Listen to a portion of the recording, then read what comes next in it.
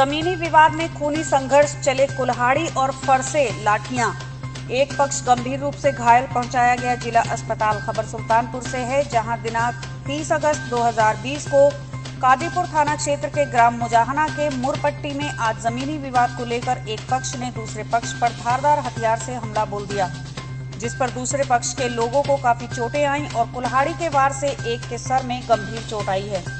बताते चलें कि पूरा मामला कादीपुर के ग्राम मुजाहना का है, जहाँ दिलीप कुमार उपाध्याय, सुत राजेंद्र प्रसाद उपाध्याय अपने भाई के साथ अपनी ज़मीन पर जा रहे थे। पहले से घात लगाए बैठे, जिसमें मनोज, सोनू आदि लोग शामिल थे और इसके पहले ही वह कुछ सोचते उन्होंने अचानक धारदार हथियार से हम पर हमला कर दिया, जिससे सर में काफ़ी चोटें आई हैं।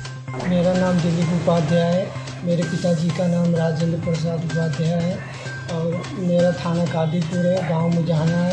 ज़मीन के रंजिश में मेरे पड़ोसी जो है मुझे कुल्हाड़ी से मारे तीन चार लोग को मारे सब घायल हो गए।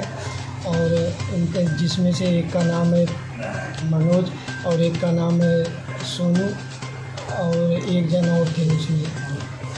पुलिस की क्या कार्रवाई रही कई लोग थे। पुलिस वाले कुछ नहीं किया अभी तक। पुलिस का कोई कार्रवाई नहीं है। और मुझे यहाँ कम से कम मेरे सिर में पंद्रह टाके लगे हुए हैं।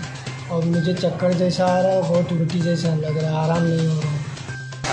मेरा नाम अजय कुमार उपाध्याय है।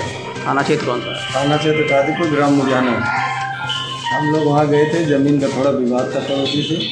वो लोग पहले से ही हाथ लगा के बैठे थे।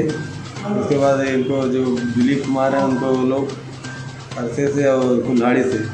मारे, उसके बाद इनको बचाने दो तीन लोग गए, उनको भी मारे। उसके बाद वहाँ लेखपाल भी खड़े थे। वो लोग चले गए, बाद में हम लोग गाजीपुर गए। सौ नंबर आई तो मेरे ही तरफ़ के दो तीन लोगों को पकड़ के ले गई। वो लोगों को कुछ बोली ही नहीं।